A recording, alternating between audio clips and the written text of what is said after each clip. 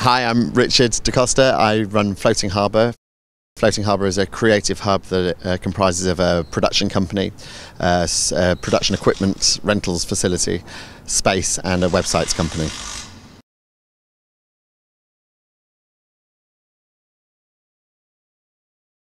We have a, a, pretty good relationship with our accountant. He's a down to earth guy, uh, very easy to talk to, and generally gives you pretty straight advice.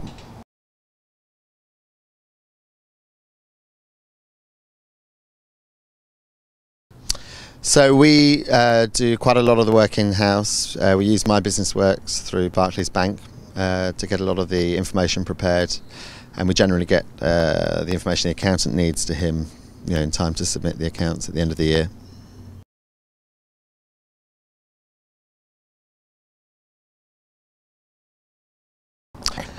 Um, we've approached our accountant for Business Advice at various key stages during the development of the business. It's not something we would do on a a regular basis. Usually, when we've got an issue that we need to get an answer to, we might go to him with a few questions.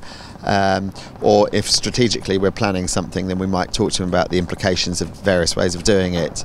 Um, I wouldn't say that we do it on a very regular basis, probably once every few months.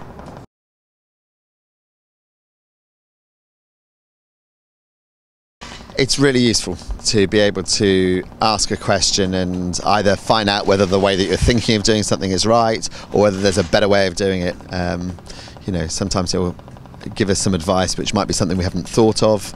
Um, it, it's not something that happens very regularly. We could probably do more of it, but it's uh, but it is useful when we do go to him for those those pieces of advice. Yeah.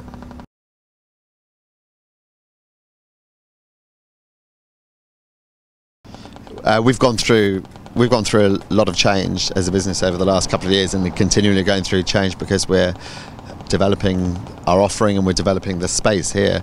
Um, so uh, there's a lot of work going on, and that is uh, you know a, a huge uh, financial consideration in you know in all the decisions that we make. We need to make sure that our cash flow is good. We need to make sure that we're spending the right money in the right places, and we need to make sure that we're uh, making that money, that spend, as efficient as possible. So, in all sorts of ways, including making it tax efficient. So, yeah, it's, it's invaluable to get good advice from the point of view of where we are as a business.